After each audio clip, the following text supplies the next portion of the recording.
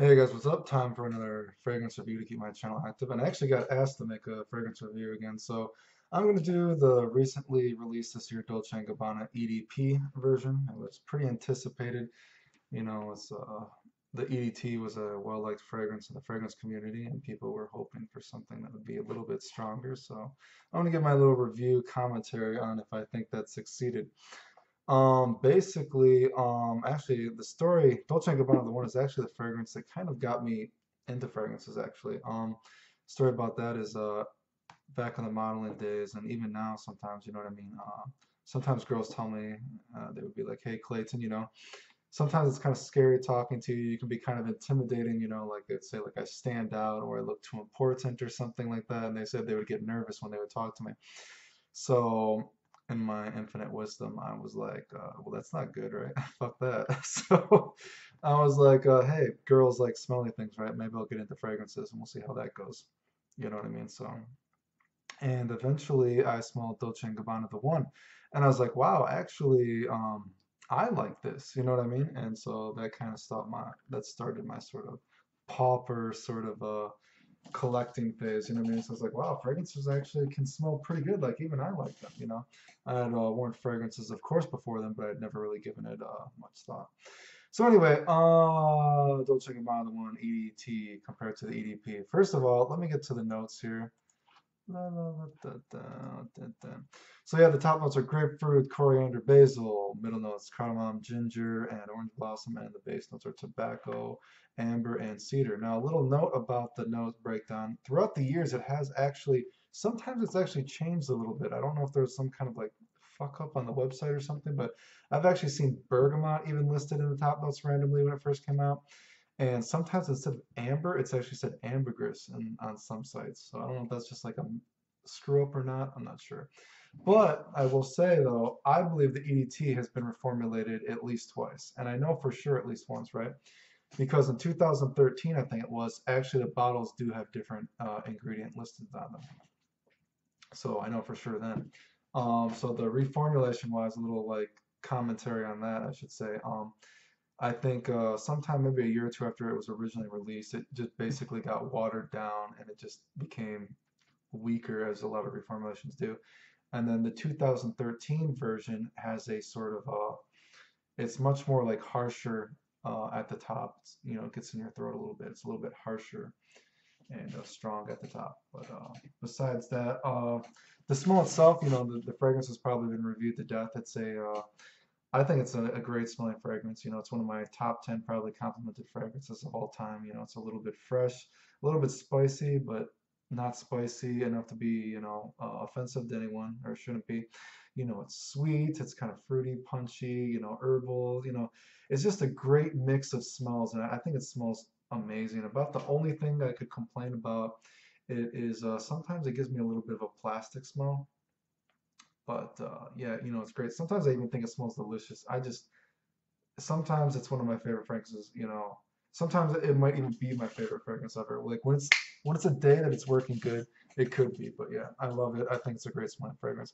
Obviously, the knock on it is that the performance can be kind of spotty for some people, and I will admit, even on me myself, um, it's generally kind of just a skin scent, but I get pretty good longevity out of it, and I can't complain because you know people in the fragrance community, you guys are buying, uh, and even I have, you know, bought Creed fragrances that are hundreds and hundreds of dollars, and a lot of those are just skin scents, so it's kind of like, come on, guys, you know what I mean? You can't, you pay hundreds and hundred dollars for one thing, but this is cheaper, and you complain. Anyway, so compared to the EDT, compared to the EDP, the EDT is definitely more citrus and a little bit sharper the EDP is, uh, especially the opening. The openings of these two are where the you can tell the most difference. Like the EDP has is much more creamier, it's thicker, it's denser, it's richer, and the cardamom in this is a lot more apparent, especially at the top. And uh, the grapefruit lasts uh, throughout the fragrance a little bit longer. So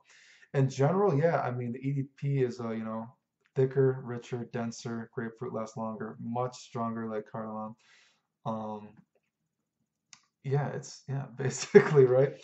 I will say myself, actually, I think the EDT smells just a little bit better though. I think the citrus with it, um, and a little bit of sharpness. I think the mix of that with the citrus just makes it a little bit more pleasing.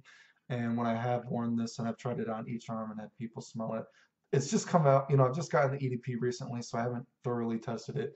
But when I have asked, they have actually liked the EDT a little bit more.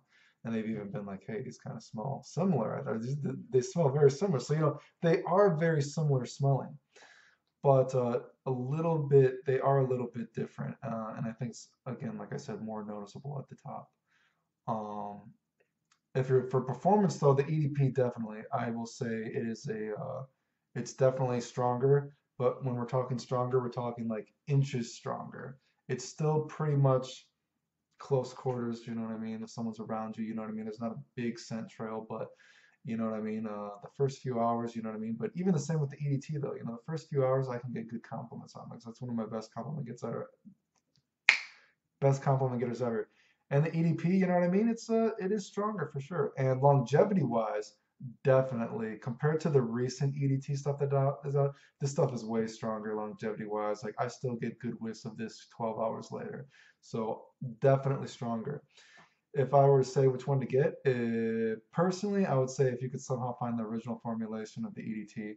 I still have like a little baby travel atomizer from, you know, back years and years ago. And that thing will last me 12 hours for sure. You know what I mean? That's, that thing definitely performs pretty well. Not projection wise, but longevity wise, you know what I mean? It's pretty good. So anyway, yeah, that's basically my review. Um, I will say the EDT EDP is already going for hella cheap. You can get it on Fragrance Net, super cheap, dude. So I mean, if you like the smell, you know, it is redundant, but if you don't have any of them, I guess you know why not just get the EDP? It's basically the same thing. Um, like I said, compliment wise, uh, it's just come out recently, you know what I mean? So it's hard to say, but I would assume as it goes on, uh, the EDP will probably be one of my best complimented fragrances, I would assume as well. You know, it's hard to tell when something has just come out so soon, but um, yeah, so like I said, uh, I think it's worth checking out, you know what I mean? Especially if you like the smell. Again, though, for me, the EDT, as it is, I think smells just a little bit better, but it's still the smell itself is just the basic DNA of it. I think is fucking amazing. Um, so yeah, uh, EDT, a little bit some more citrus, more sharper. EDP, more cardamom. The grapefruit lasts longer. It's richer, thicker, denser, and it's a much more of a creamier kind of smell. Um, and it lasts longer though for sure. So performance-wise, I think it has fixed. Uh, I would assume for most people it would fix that issue. So anyway, that's my review. I made a clone review. I know people were asking me to do one again. The whole few people that actually watch my channel for fragrance reviews, right? So um, thanks for watching. Yeah.